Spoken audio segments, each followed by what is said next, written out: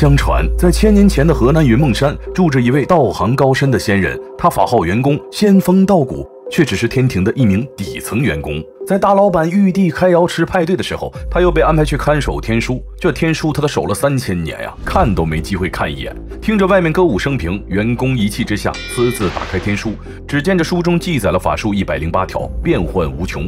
书中又云：“天道无私，流传后世。”员工自问：既然如此，为何用秘？